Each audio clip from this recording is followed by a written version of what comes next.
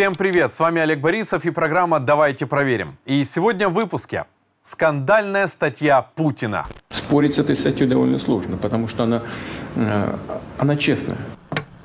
Тайное оружие украинской армии. А это что такое за техника?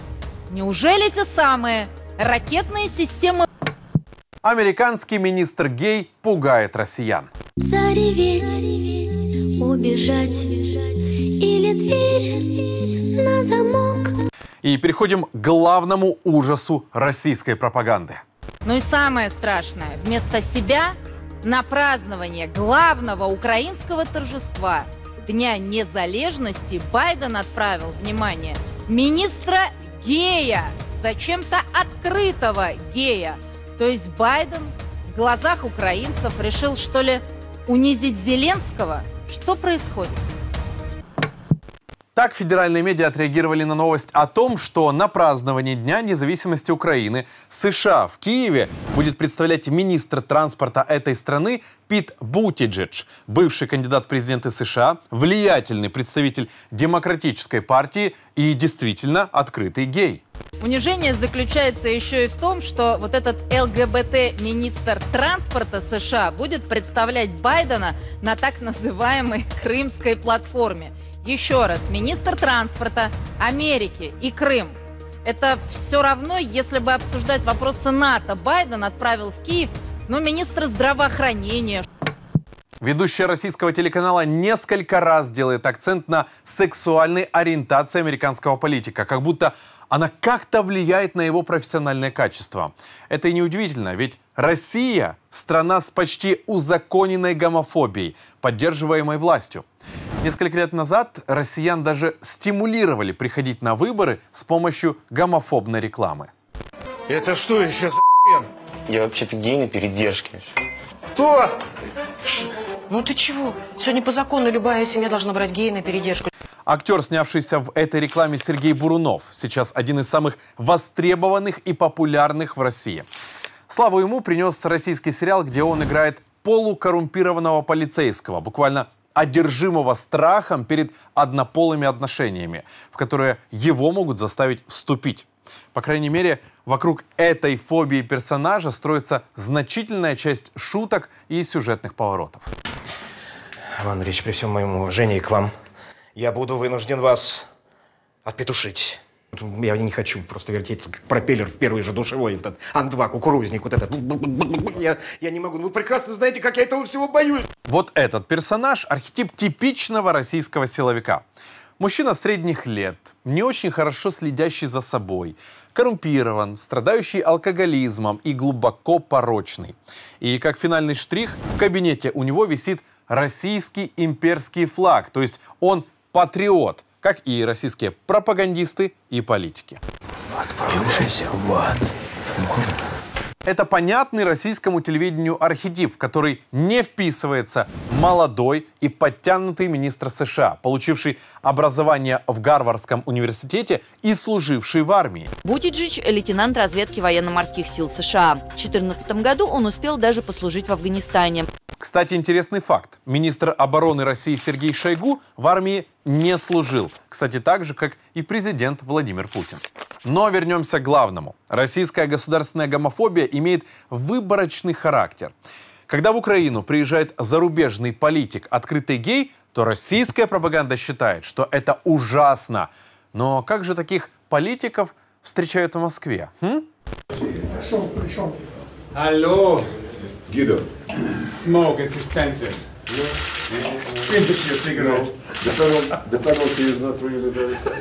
Ах, какая теплая встреча. Начали как старые приятели с шуток и подколов. Кто же эти люди? Подождите, не верю своим глазам. Это же известный своим красноречием министр иностранных дел России Сергей Лавров. Стоп, подождите. Но кто же это рядом с ним? Кто же этот дорогой гость? Кстати, это запись 2013 года. Тогда еще в Москву с официальным визитом приехал покойный глава Министерства иностранных дел Германии Гидо Вестервеля. Такой же открытый гей, как американский министр Пит Бутиджидж. Надо сказать больше, что в период работы этого министра отношения Германии и России были на своем пике, и никого в России не смущали его взгляды на жизнь. Даже, кстати, о гомофобии на госуровне, которая тогда как раз поднималась, забывали. Вот я недавно видел репортаж здесь, в Сочи, из одного гей-клуба. Как говорили в советской прессе, ничего не мешало крепнуть связям между двумя странами. Тем более какие-то однополые отношения, как бы на них подозрительно не смотрел Путин. Оно-то и понятно. Министр иностранных дел России Лавров – профессиональный дипломат, который очень комфортно чувствует себя на Западе. И вряд ли сам лично страдает гомофобией. Но для удержания власти путинской команде надо играть на страхах и предрассудках. И они со своим шефом цинично это делают. Мы с определенным с определенной осторожностью, но пониманием относимся вообще к, ко всяким нетрадиционным формам. Ну, в том числе к нетрадиционным бракам. Но настороженно. Почему? Потому что я, как глава государства, должен заботиться о решении демократических проблем, а э, нетрадиционные браки, как известно, э, детей на свет не производят. Впрочем, Россия уже давно стала страной двойных стандартов. Одни в законах и телевизионной пропаганде, и совершенно другие в реальной жизни. Но, кстати, не стоит забывать, что всего каких-то 20 лет назад, сегодня, гомофобная Россия дала миру такую группу, как «Тату». Это дуэт двух девушек, значительная часть творчества которых была как раз посвящена однополым отношениям.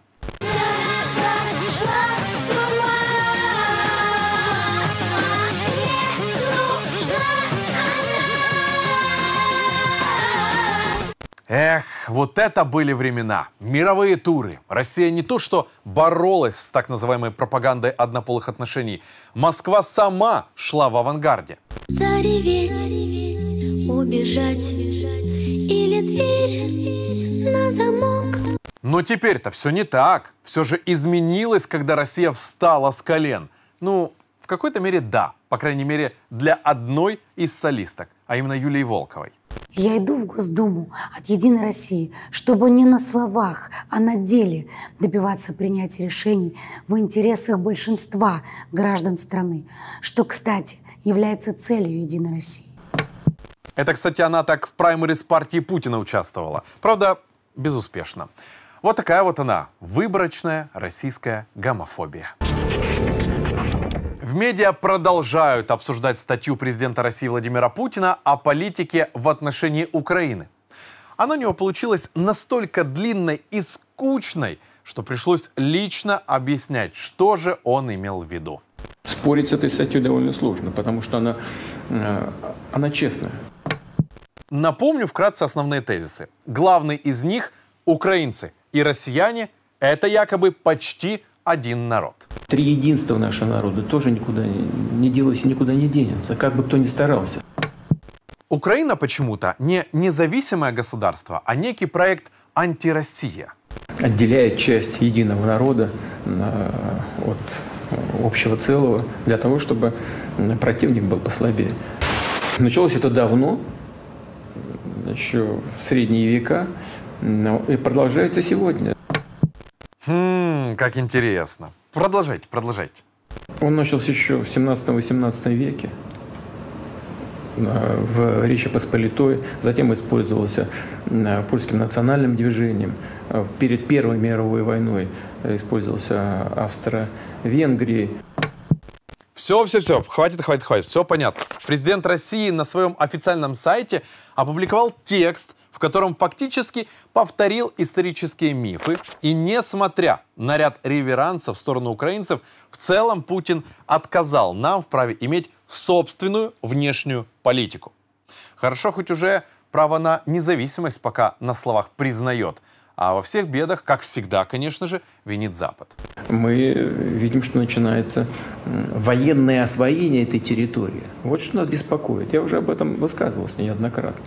Э, И я думаю, что и наши озабоченности в конце концов э, будут услышаны теми, кто это делает. Людям, живущим в 21 веке и мыслящим современными категориями, даже не стоит начинать спорить с Путиным. Это, знаете, как две разные системы мышления. Вот именно так, следуя логике лидера одного из крупнейших ядерных государств, португальский народ един с бразильским и некоторыми африканскими народами. Британцы с американцами и австралийцами. Это уже не говоря о людях немецкого происхождения, проживающих во многих европейских странах. Странно, но в Европе такие мысли никому в голову не приходят достаточно давно, где-то с 1945 года. Зато есть Европейский Союз, объединяющий совершенно разные страны с разной историей вокруг одной системы ценностей – мировоззрения и, конечно же, экономики. Мы верим в способности Владимира Владимировича обучаться, и, может быть, после еще 20 лет президентства он придет к мысли, что все люди одинаковые, и убивать их нельзя. Где бы они ни жили, в Украине, Сирии, на Кавказе или в Африке. Как человек, посещающий церковь, Путин может прийти к тому, что все люди произошли от одного человека, но это уже тема других программ. На российском телевидении продолжается обсуждение годовщины крушения рейса MH17. Но дискуссия посвящена не памяти невинных людей. Там пытаются переложить ответственность за преступление с России на Украину. Это видео учений от командования ВСУ. То есть сами опубликовали на нем граница с Крымом. А это что такое за техника? Неужели те самые ракетные системы БУК, которых на Украине отродясь не водилось? И чему же украинские солдаты учатся, наверное, сбивать воздушные цели? Например, гражданские, не дай бог, самолеты, ну, вроде Боинга MH17, чтобы потом огульно и, как мы знаем, бездоказательно обвинять Россию. Ни для кого не было секретом, что у Украины есть комплексы БУК. Она этого не скрывала. Более того, Россия еще в 2008 году обвинила украинскую власть поставке этих комплексов в Грузию. Украина лишь отрицала их использование на Донбассе в июле 2014 года, когда там был сбит самолет малазийских авиалиний. Да и смысла их использовать не было, ведь у боевиков никакой авиации не было, и Россия тоже не использовала ее против Украины, ограничившись артиллерийскими обстрелами и введением сухопутных подразделений. Как мы уже говорили в предыдущей программе, международная следственная группа пришла к выводу, что самолет мог сбить БУК российской армии. Подозреваемыми проходят три гражданина России. Все бывшие военные. И один гражданин Украины, сторонник группировки ДНР. Игорь Гиркин, Сергей Дубинский, Олег Пулатов и Леонид Харченко. Те, кого сегодня назвали в 2014 году, занимали самые разные посты вот в самопровозглашенной ДНР. Вот так Россия в очередной раз вместо признания и помощи следствию пытается переложить ответственность на других. С вами был Олег Борисов и программа «Давайте проверим». Пишите в комментариях, что вы думаете о попытках России уйти от ответственности. Подписывайтесь, ставьте лайк и, конечно же, распространяйте это видео. Пока!